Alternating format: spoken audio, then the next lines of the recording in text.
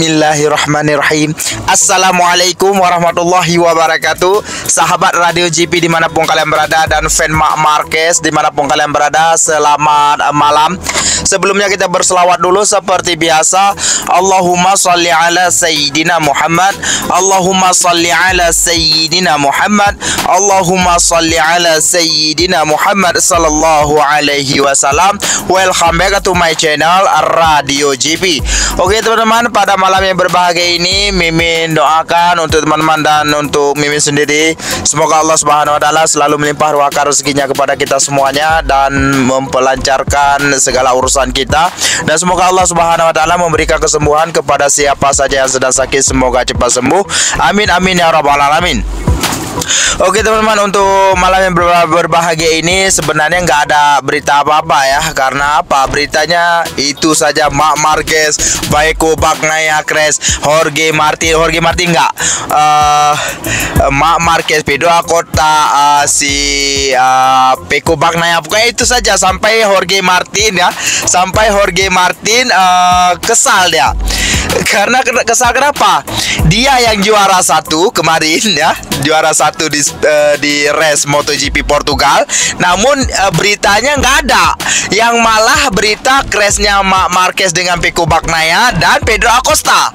Jadi si si Jorge Martin mengatakan sangat kecewa sekali dia katakan begitu ya Sebagaimana Jorge Martin berhasil tampil gemilang dengan meraih podium tertinggi dalam balapan MotoGP Portugal 2024 beberapa waktu lalu. Kendati meraih kemenangan, ada hal yang membuat Martin cukup kesal dalam gelaran seri balapan di sirkuit Algarve Portimao tersebut. Hal tersebut disebabkan oleh berita kemenangan Martin yang seolah tenggelam tergusur berita soal insiden Mark Marquez vs Francesco Bagnaia di tikungan 5. Kemudian makin tenggelam lagi akibat performa menonjol dari Rocky of the Years MotoGP 2024 yaitu Pedro Acosta yang finish podium ketiga. Sebagaimana Jorge Martin mengatakan, seharusnya saya yang menjadi sorotan di MotoGP Portugal 2024. Tetapi kalah dengan beritanya Mak Marquez dan Pedro Acosta. Ujar Jorge Martin.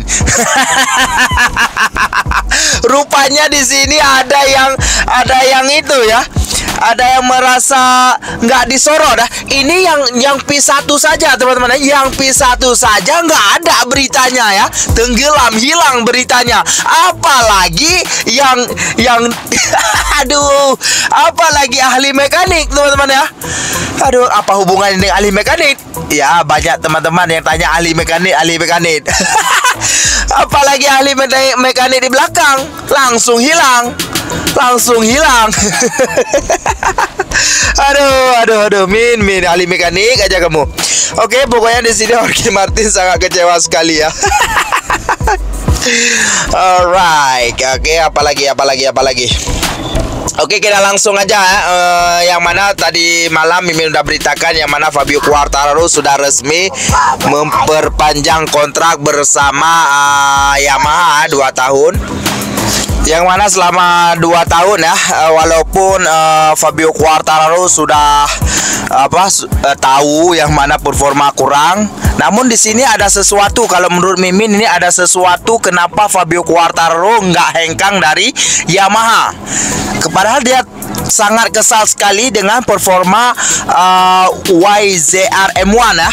Sangat kesal sekali bahkan dia katakan ini paling buruk ya, motor yang paling buruk yang pernah dia kendarain dikatakan oleh Fabio Quartararo.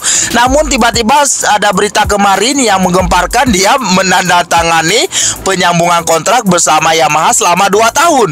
Di sini pasti ada sesuatu yang membuat Fabio Quartararo bertahan. Sampai-sampai dia mengatakan kemarin uh, dia menyambung ini bersama fan biru ya, fan biru uh, untuk ini. Namun di dari cara penyampaian Fabio Quartaro mimin rasa ada sesuatu yang ini mungkin gajinya dibesarin ya. Mungkin gajinya dibesarin makanya tertutup itu ya. Sampai Fabio Quartararo mengatakan uh, uh, apa? Membutuh waktu untuk proses perkembangan bla bla bla bla bla ya. Pasti ini gajinya ya gajinya di, ditingkatkan mimin rasa lah. Fabio Fabio. Kemarin bilang motor buruk ya. Sekarang gajinya dibesarin sedikit langsung kontrak 2 tahun ya. Oke teman untuk selanjutnya kita ada ini ya uh, apa namanya jadwal lah jadwal MotoGP Amerika ya yang mana ini tengah malam rasanya ya tengah malam.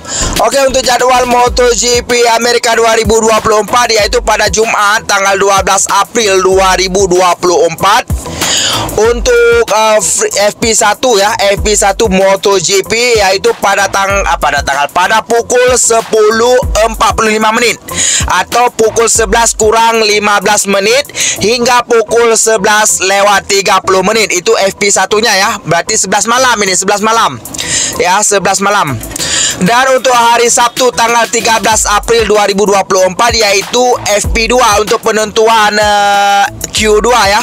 Q2 yaitu pada pukul pada pukul 3 pagi hingga pukul 4 pagi satu jam. Gila parah. Sabar sabar. Ya adik sabar ya rekam nih. Ya ya ya. Nanti nanti.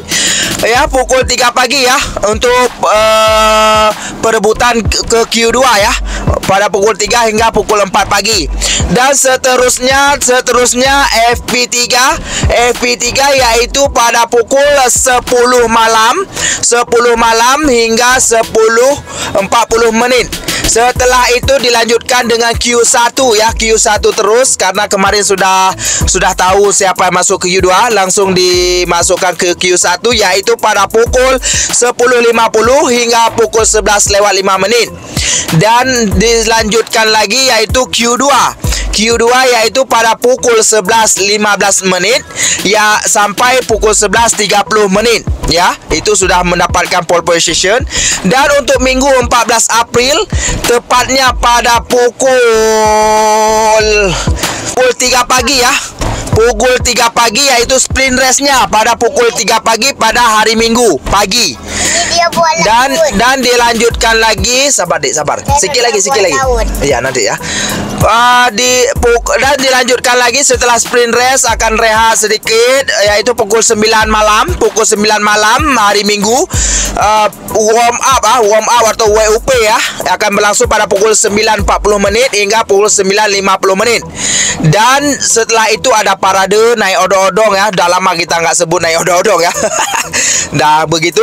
Dan untuk selanjutnya pada pukul 12 malam pada pukul 2 ya, pada pukul 2 yaitu Minggu 15 April 2024 akan diadakan uh, apa? Pukul 2 ya, race MotoGP ya, race MotoGP ya. Pukul 2 pagi.